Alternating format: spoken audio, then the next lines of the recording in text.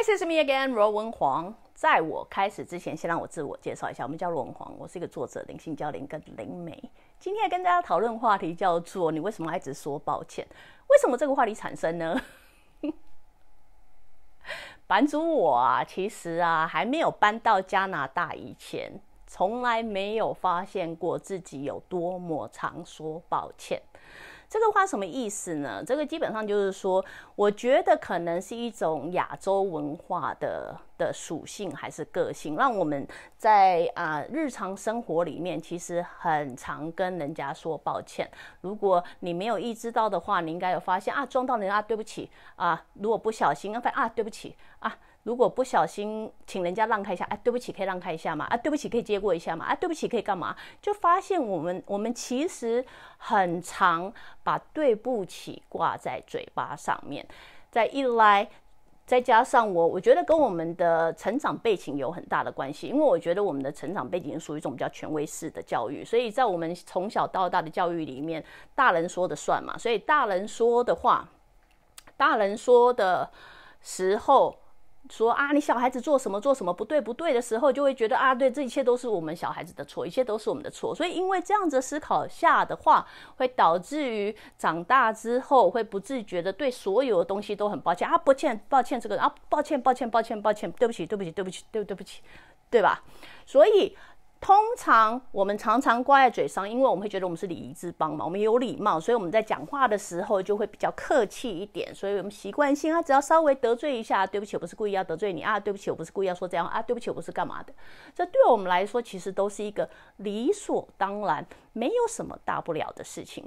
但是，一直到我搬到加拿大之后，我跟我老老公在一起这么久，他也没有纠正过我啊，所以我也没有觉得特别奇怪的地方啊。所以，一直是搬到加拿大。来的时候，我不是说加拿大人没有，我只是说这种现象在亚洲的时候更常见。如果你觉得中国人或者是台湾人感觉已经很常在讲对不起了，那相信我还有个另外一个民族 top us up，他就是日本人，超级有礼貌，任何东西对不起要跟你收钱哦，对不起我找钱给你哦，对不起我。他们的对不起次数大概乘上我们的三倍到五倍左右，好吗？所以 anyway 是一直搬到加拿大的时候，在跟啊老公的朋友聊天或接触的时候，突然之间，老公的朋友就问我说：“你为什么那么常在说对不起？”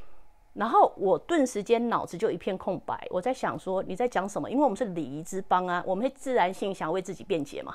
因为我们是礼仪之邦，我们我们文化是很有礼貌的文化，我干嘛？但是他说你不需要一直抱歉啊，因为这不是你的错，你可以用很多方法表达你要说的话。可是如果很多人的英文不是那么好，你知道吗？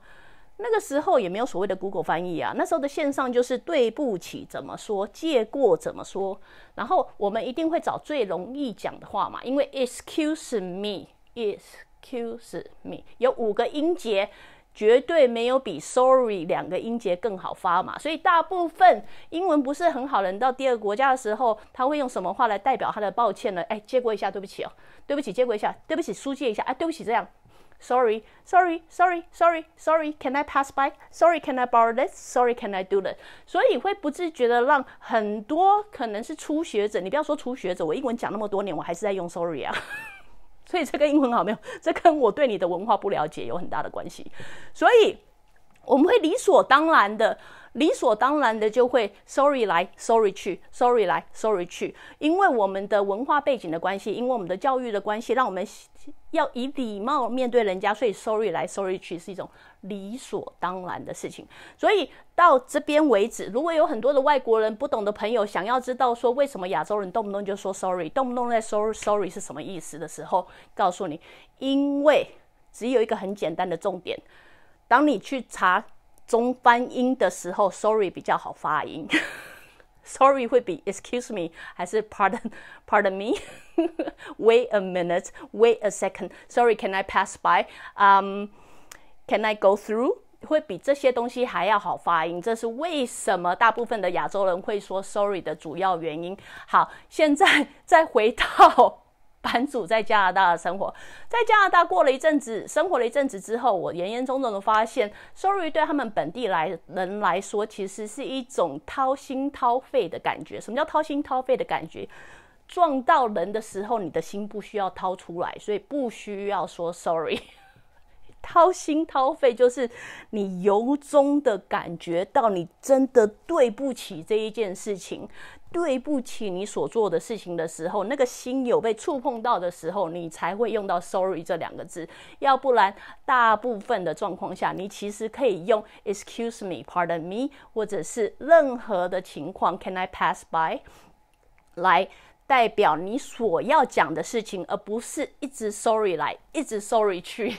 现在这个第二节是告诉大家，抱歉有很多种的方法可以讲，不需不需要总是在跟人家抱歉，把心掏出来给陌生人说对不起，我是真心的对不起，那种感觉就是啊，对不起，借过一下，不是，当你在说 sorry 的时候，是我真的很抱歉的，必须要经过一下，可以吗？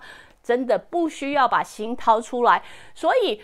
如果你们很多人在初学英文的话，会发现说啊，我又要跟人家说对不起、抱歉的时候，sorry 就尽量少用，因为当你要掏心掏肺的时候，再把 sorry 拿出来用，心没要掏出来，肺没有挖挖出来的时候，excuse me 跟 pardon me 基本上就够用了。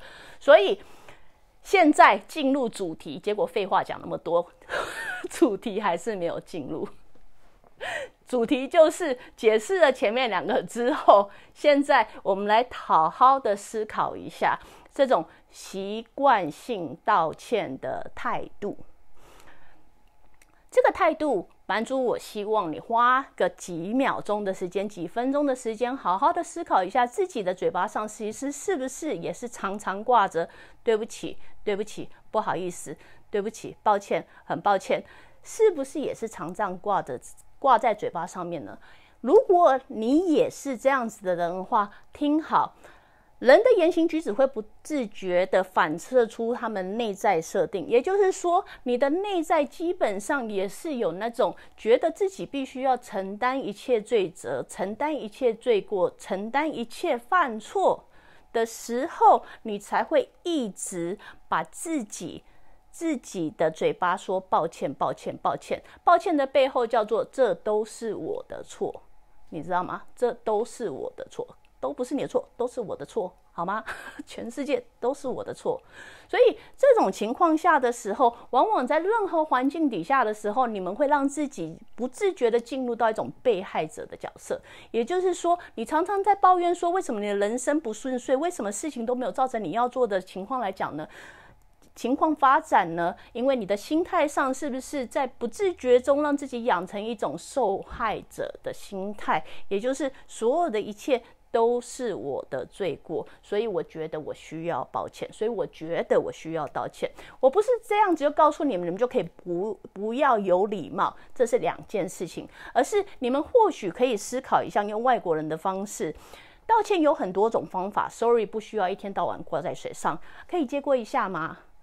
嗯，我要过去一下你呃，Excuse me, pardon me, 啊，Hey, hello，你有很多的方法可以表达你真正想要的到底是什么，而不是一天到晚把对不起。挂在自己的嘴巴上面，因为你的人生没有对不起谁，你只有对不起你自己，你知道吗？在尊重前提之下，在没有伤害到人的情况底下，你没有对不起的人，你只有对不起自己的生活，对不起自己的灵魂，对不起自己的生命。可以吗？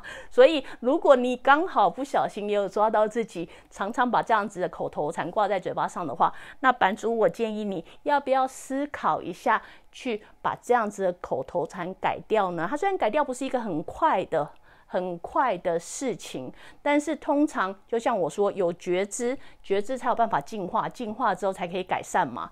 所以。先从觉知开始，先抓到自己是不是有这样子的习惯。如果有的话，是不是可以不要一直在讲 sorry 了？因为 sorry 不需要把心掏出来。因为如果我天天把对不起挂在嘴巴上面的话，除了让自己训练了受害者的心态之外，你们可能没有意识到，太常把。对不起，挂在嘴巴上面的时候，当你有一天真的要掏心掏肺的时候，真的要去跟人家道歉的时候，你的对不起好像一点意义都没有了，因为人家已经听习惯了，你动不动就说对不起的人，你现在又在说对不起，有什么用呢？如果你的行为没有改变，如果你没有做什么事情的话，你再道歉个几百次也没有用啊！你没有常听到这样子的话吗？所以。给大家做个参考啦。如果你要让你的道歉变得有意义的话，或许现在就要开始先给他铺个路，先让他有意义的时候，再把这样子的字拿出来用。那等到有一天你真的有心想要掏心掏肺，可能是要挽留你你很爱的前女友，可能是你要去跟你的父母道歉，可能是你真的想要跟你很好的朋友，嗯。在和好如初的时候，那个时候或许道歉他会才会真的有它的意义，好吗？所以 anyway 给大家参考看看。Again，如果你喜欢我的直播的话，欢迎你随时加入我脸书的直播行列，还是订阅我的 YouTube 频道，还是去我网站 r u w e n dot com。天人，我们下次见，，Bye now。